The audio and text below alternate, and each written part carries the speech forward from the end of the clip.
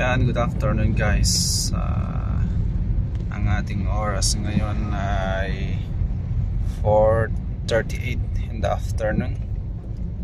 So, magsusundo tayo. Grabe yung panahon ngayon guys. And sobrang dilim ng ano, mula umaga hanggang hapon dahil may paparating na bagyo, tatlong bagyo at ang paparating.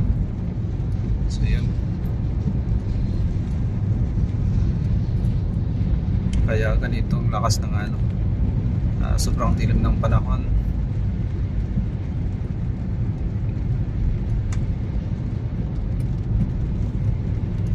So nandito tayo ngayon kasalukuyan sa may ano sa may uh, Baliwasan Seaside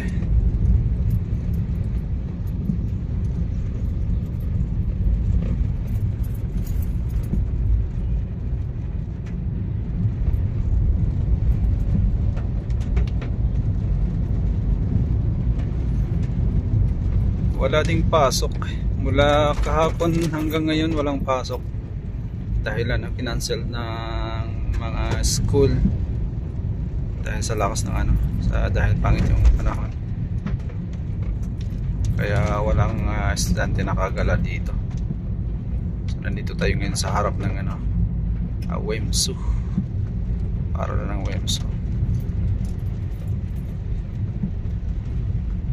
sobrang pangit talaga ng panahon.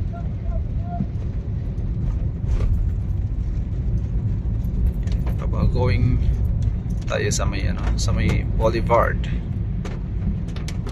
Kawa kawa. Medyo magalaw yung ano natin video natin kasi isang kamay ko lang hawak eh.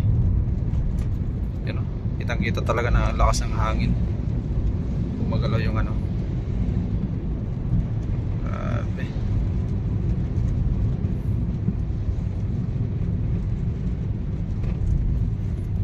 sobrang lakas ng hangin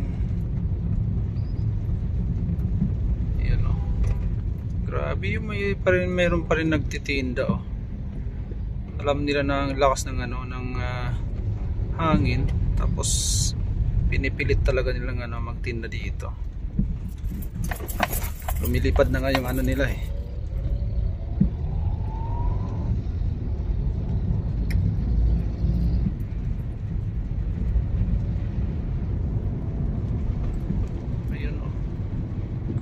Grabe. Dilim talaga oh dito sa may boulevard oh. Kitang-kita talaga na ano yung uh, yung ulap.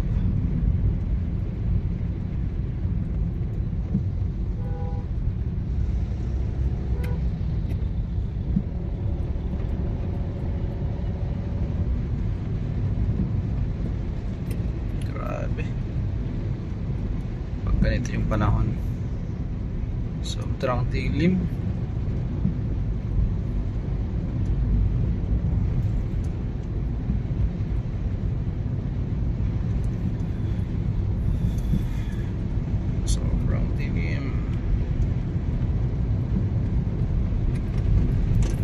Walang katao-tao dito sa may boulevard.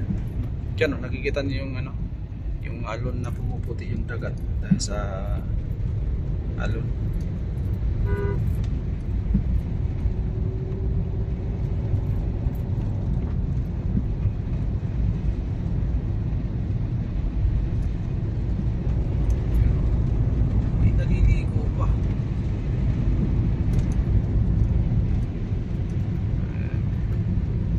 Yan guys, signing up. Hanggang dito na lang ang ating video sa may dulo ng ano, ng Artilim Boulevard.